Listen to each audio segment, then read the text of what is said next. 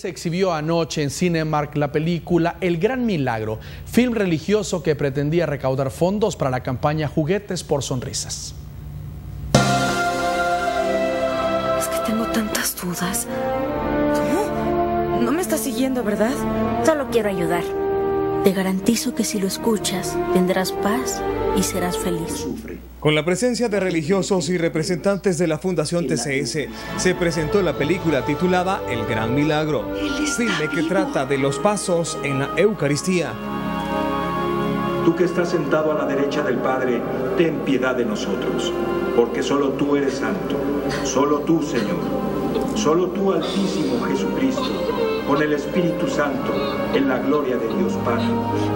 Sí, aquí estamos en otra de nuestras actividades de recaudación para la campaña de Juguetes por Sonrisas. Este día estamos en una función de cine de la película El Gran Milagro.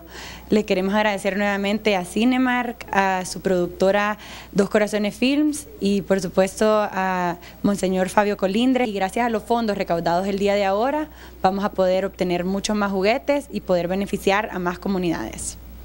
De acuerdo con Monseñor Colindres, esta es una película que cambia la vida, que permite ver la celebración de la misa con un sentido diferente y más profundo.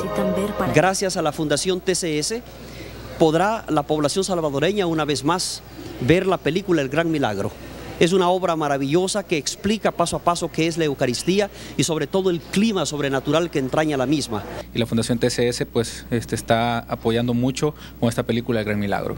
La recaudación es íntegra para la fundación. Sí, sí, sí, toda la recaudación que se haga pues para la película es directamente para la fundación. La película explica además sobre el poder de la confesión y la importancia de prestar atención al mensaje de la liturgia. Todos los fondos recaudados van íntegros para la campaña Juguetes por Sonrisas. Héctor Peñate para Tele 2.